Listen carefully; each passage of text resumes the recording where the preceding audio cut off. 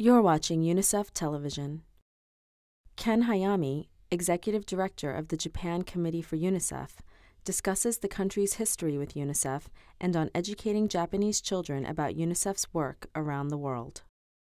As early as 1950, the government of Japan started contributing to UNICEF, becoming at the same time a, a recipient country and a donor country. Uh, this reflected the Japanese tradition of expressing gratitude when gifts are received by reciprocating with a gift.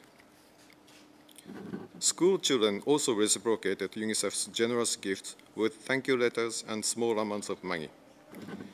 In other words, the first private sector contributions to UNICEF in Japan were made in 1956 by chil children for children.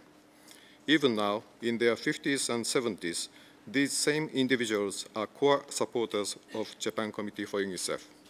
Uh, programs for children are a key part of our Education for Development program. Uh, this program has been supported by the Ministries of Foreign Affairs, Education, and Welfare since its beginning. Currently, the Education for Development program of the Japan Committee for UNICEF reaches almost all the schools in Japan, in cooperation with national, prefectural, and local education bureau. One example of this program is that UNICEF is described in textbooks used nationwide. This helps children at a very early stage to understand UNICEF's role.